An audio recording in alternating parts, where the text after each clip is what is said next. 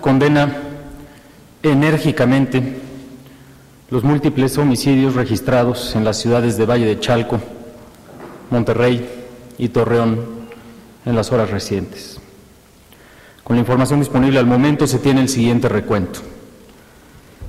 En Valle de Chalco, Estado de México, fueron hallados los cuerpos sin vida de 11 personas y una mujer se encuentra herida de gravedad.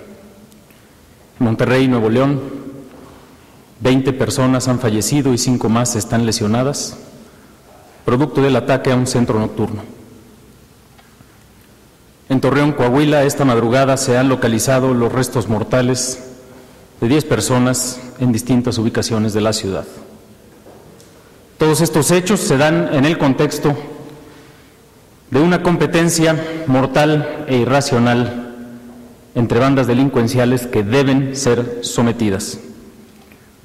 En Nuevo León y otras entidades del noreste, desde el año pasado las organizaciones criminales del Golfo y los Zetas significan una absurda guerra a muerte por el control de plazas delincuenciales y por el tráfico de drogas hacia Estados Unidos que antes del año del 2010 compartían. Esta lucha absurda entre delincuentes también se ha dado en otras entidades, como Coahuila, en este caso entre los Zetas y la Organización Criminal del Pacífico. Y en algunas regiones del Estado de México existe también una pugna entre los Caballeros Templarios, grupo antes llamado La Familia, y la organización delictiva de los Zetas.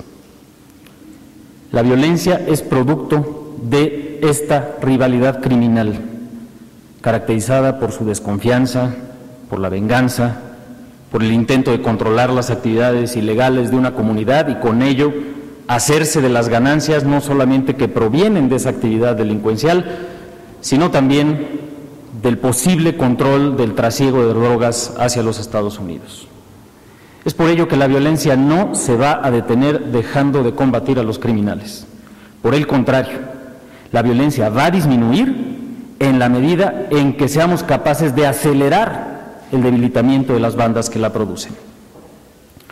Habrá menos violencia en la medida en que avancemos más a prisa en llevar a los delincuentes a la justicia, porque aún ahora, como muestran estos lamentables actos, hay quienes suponen que serán impunes sus delitos. La violencia criminal nos duele profundamente a todos. El Gobierno de la República expresa sus más sentidas condolencias a los familiares y deudos de las víctimas de los hechos más recientes de violencia en el país. Refrendamos desde este momento todo el apoyo del Gobierno federal para que las autoridades locales puedan dar con los responsables y hacerlos pagar por estos crímenes. Exhortamos también a las autoridades ministeriales de las entidades mencionadas a que en el marco de los acuerdos que se firmaron en el Consejo Nacional de Seguridad Pública se tenga todo el debido cuidado para preservar la identidad y memoria de las víctimas y se atienda debidamente a los deudos.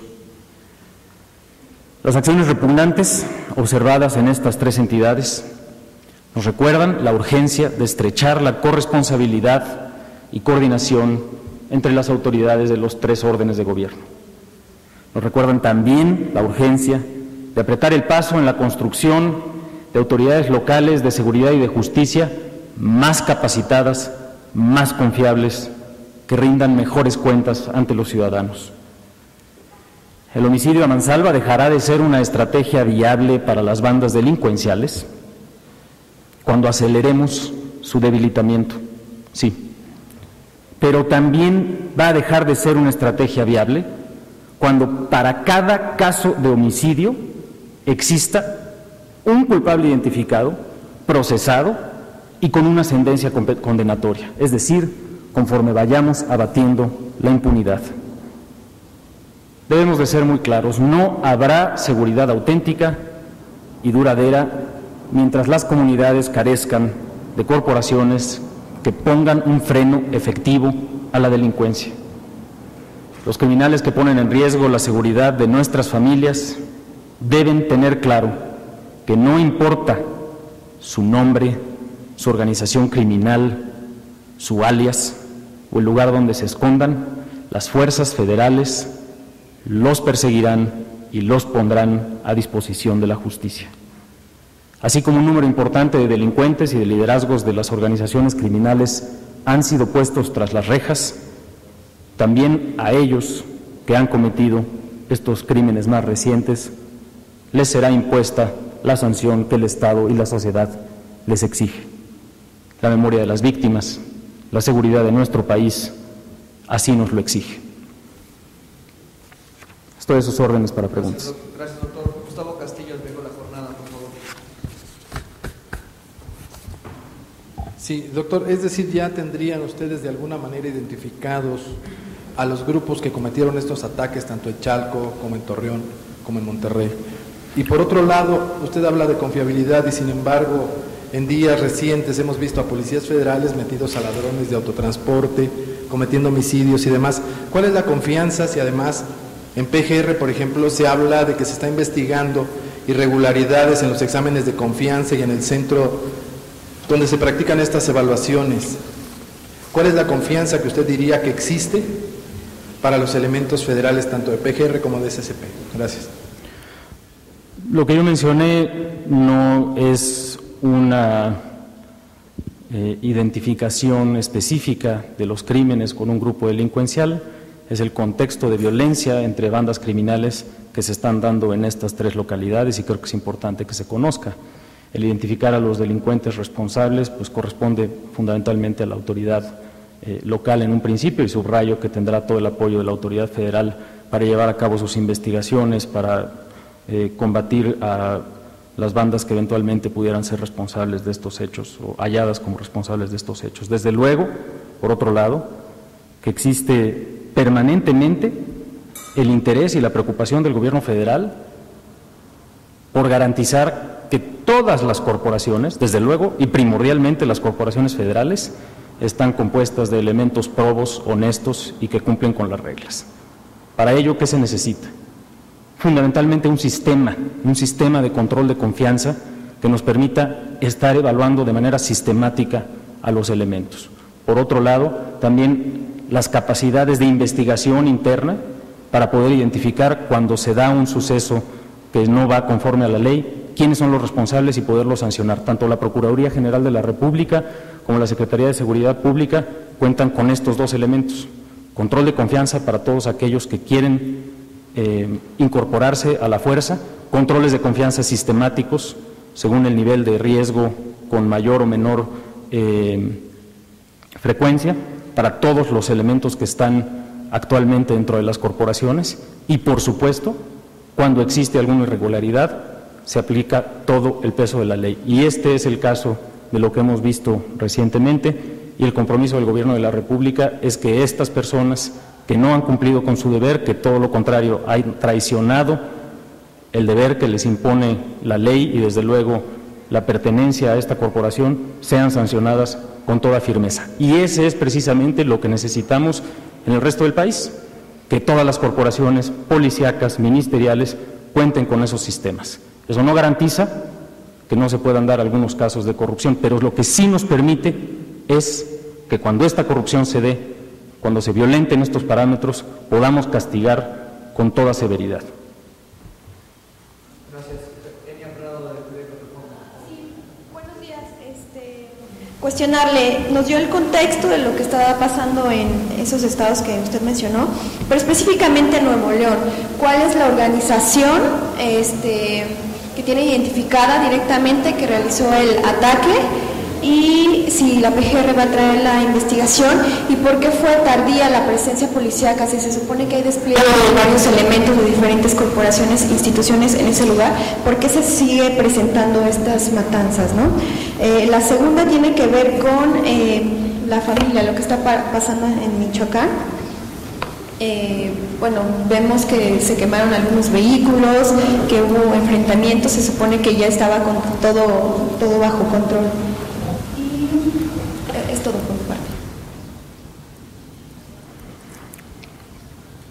Bien, en el caso de la familia, el supuesto de que todo estaba bajo control, no sé a quién se lo atribuyen, nosotros fuimos muy claros en decir que ha habido golpes muy importantes a la estructura delictiva de una parte de esta organización criminal y estos golpes delictivos por supuesto que ahí están y se ha mostrado a los detenidos eh, no solamente eh, manifestando incluso su debilidad, manifestando el, debilitamiento de la organización, pero desde el principio esta administración se ha dicho y lo hemos subrayado, un servidor en lo personal, que para garantizar la seguridad auténtica, por supuesto que hay que debilitar a las organizaciones criminales, por supuesto que hay que hacer caer a esos liderazgos, porque esos liderazgos no se generan de un día para otro.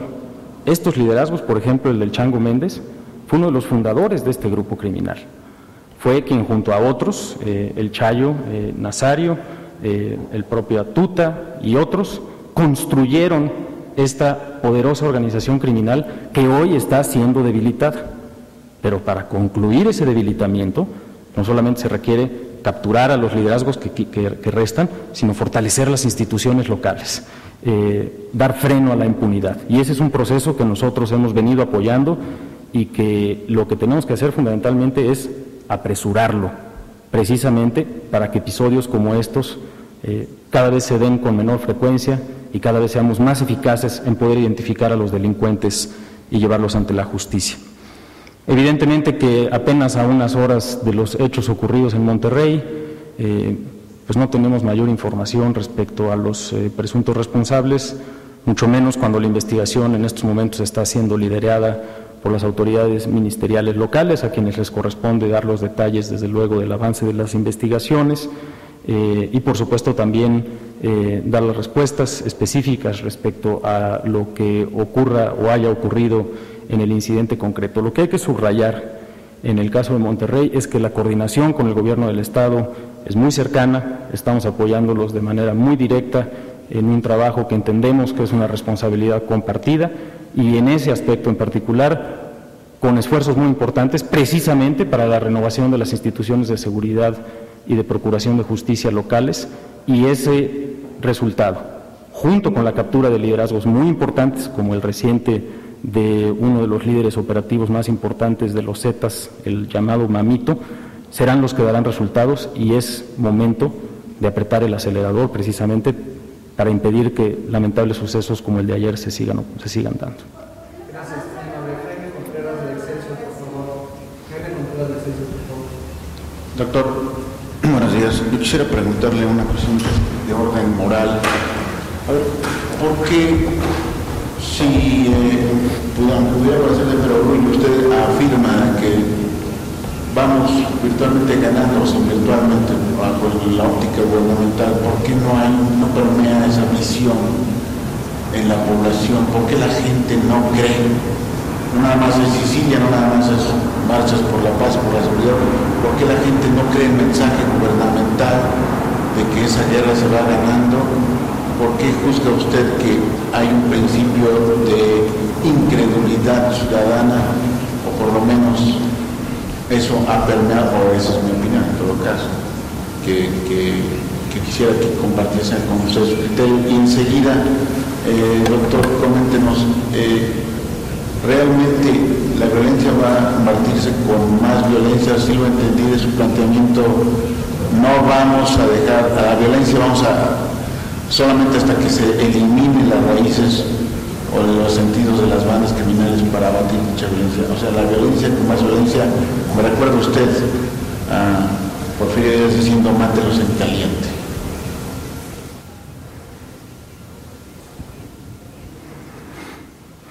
Bien, primero, pues la verdad no estoy de acuerdo con la premisa de su primera pregunta, porque el mensaje gubernamental en modo alguno ha sido el que usted refleja en su opinión. El mensaje gubernamental ha sido uno de responsabilidad. Responsabilidad implica, por un lado, reconocer los enormes retos que tenemos. Hemos reconocido abiertamente que hay una gran preocupación de la población, que los niveles de violencia son demasiado altos e inaceptables que los niveles de otros crímenes también lo son, pero eso no quiere decir que no tengamos que decir cuando desde la óptica del gobierno, y no solamente del gobierno, de otros actores internacionales, hay avances en esta lucha. Y los avances se reflejan en la caída de los capos que han generado esta violencia. Es decir, nuestro mensaje ha sido responsable, nuestro mensaje ha sido objetivo, reconociendo desde luego la preocupación de la población, que por cierto, evidentemente es también la preocupación del gobierno, porque estamos perfectamente conscientes de lo que esto significa, en particular en algunas zonas del país donde los índices de violencia siguen siendo muy elevados. Por otro lado, pues también rechazo categóricamente su opinión y su comparación, porque lo que nosotros hemos dicho es que la violencia se combate con justicia, no con violencia. ¿A qué me refiero? Lo acabo de decir en este mensaje hace unos momentos. A que vamos a abatir la violencia cuando los criminales sean llevados ante la ley, cuando tengan un proceso, cuando tengan una sentencia, cuando tengan la sanción que les corresponde por haber cometido sus delitos. Y esa sanción se va a dar a través de un proceso de justicia. Precisamente por eso, en la medida en que los homicidios son, y la mayor parte de los delitos que ocurren en este país, son delitos del fuero común, en la medida en la que el 90% de los delitos son delitos del fuero común, en la medida en la que prácticamente el 90% de los policías son policías estatales y municipales, precisamente por eso es tan importante el que aceleremos ese proceso de transformación, al mismo tiempo que debilitamos estas grandes bandas criminales, porque han sido las propias autoridades locales las que han pedido el auxilio federal, reconociendo que no cuentan con la capacidad, no han contado con la capacidad para combatir este fenómeno delincuencial. Y vamos a abatir la violencia con justicia, sí, pero también lo hemos dicho con toda claridad, con una reconstrucción, una transformación del tejido social, en la cual, sin que digamos que estamos ganando, sí también tenemos que reconocer las áreas de oportunidad y los logros alcanzados. Y con respecto a su pregunta, compañera, respecto a la actuación de las policías locales, nosotros no hacemos comentarios específicos sobre la actuación de la autoridad local eh, en un operativo de esa naturaleza.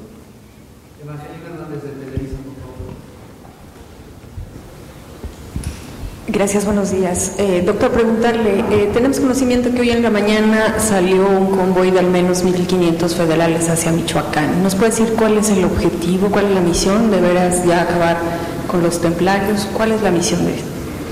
Bueno, como se sabe, ha habido em, enfrentamientos recientes de la autoridad federal con grupos delincuenciales, en particular en la zona de Apatzingán. En estos ha habido detenidos y fallecidos por parte del grupo criminal, también ha habido eh, algunos heridos leves por parte de la Policía Federal eh, y creo que eh, en, este, en este caso en lo particular, por supuesto que ha habido de manera sistemática en esa y otras entidades esfuerzos de reforzamiento de la actividad ante lo que pudiera ser una eventualidad de movilización de los grupos delincuenciales hay que subrayar, lo que ha ocurrido con los grupos delincuenciales en el caso de Michoacán ha sido un debilitamiento sumamente importante en los últimos meses de su estructura directiva.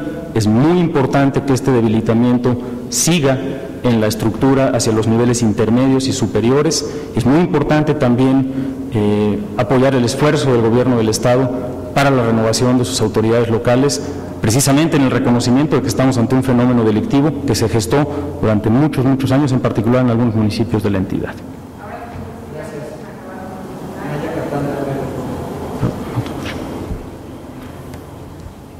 Buenos días. Eh, ¿Nos puede dar un poco más de detalles sobre lo que pasó en Torreón? Eh, ¿En dónde fue los hechos? Eh, ¿Qué es lo que pasó en esos eventos? Y en qué estado, estado estaban los cuerpos, más información de Torreón. Y también, em, bueno, preguntando lo que otros reporteros han mencionado en, Valle de Chalco y tal vez en, Michoacán, eh, la cuestión de la familia y qué tan eh, debilitados están. Ah, sí capturaron muchos de los líderes, pero eh, lo que pasó en Chalco... Perdón, compañero.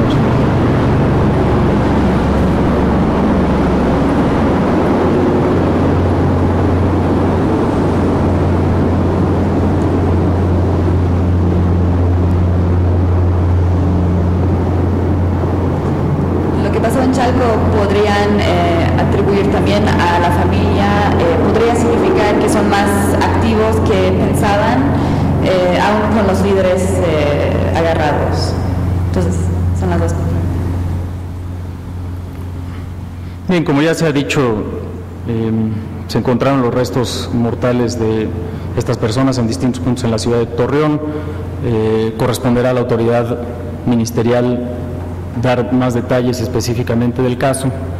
Em, creo que lo que es muy importante entender de estos distintos sucesos es que las organizaciones delincuenciales se generaron durante muchos años, fueron creciendo durante muchos años. Dejaron de ser solamente organizaciones relativamente pequeñas dedicadas al tráfico de drogas internacional y se convirtieron en redes mucho más amplias que buscaban controlar la plaza, es decir, el conjunto de actividades delictivas de una localidad. ¿Por qué? Porque el control de esta plaza les daba ganancias muy significativas precisamente en el negocio más lucrativo, que es el del tráfico de las drogas hacia los Estados Unidos. En esa medida, la violencia es el resultado de la competencia entre distintos grupos delincuenciales por plazas, como pudiera ser el caso del Valle de Chalco, como pudiera ser el caso específicamente de Torreón, eh, o incluso en algunas ocasiones por las purgas internas de una organización contra una parte de la organización que trata de independizarse o de aliarse con otra organización delictiva. La competencia entre criminales es una competencia que no tiene reglas, que no tiene cuartel, que se expresa a través de la violencia, que va a ser frenada en la medida, esa violencia va a ser frenada en la medida precisamente en que se debiliten esas organizaciones y cada vez tengan menos capacidad para hacer cosas como las que han ocurrido, pero también en la medida en la que cuando ocurra una cosa de esta naturaleza, invariablemente exista un detenido, exista un procesado, exista un sentenciado. Ese proceso se resuelve, se atiende, por lo menos en dos vertientes desde el punto de vista de procuración de justicia. La primera es debilitando a las organizaciones. Y para debilitar a las organizaciones hay que ir tras de las cabezas, hay que ir tras de su organización logística, hay que confiscarles dinero, armas, drogas. Y para ser más eficaces en reducir la impunidad, además de llevar a estos delincuentes, los principales responsables de la violencia, ante la justicia, además necesitamos que todos y cada uno de sus delitos sean sancionados. Y eso se va a lograr con corporaciones policíacas, ministeriales y de justicia limpias, eficientes. Por eso la transformación del sistema de justicia penal, por eso todos los subsidios y los apoyos a los estados para sus unidades de combate al secuestro, sus unidades de control de confianza, para la depuración de sus mandos, por eso la transformación propia de la Policía Federal también como corporación que apoya a este esfuerzo.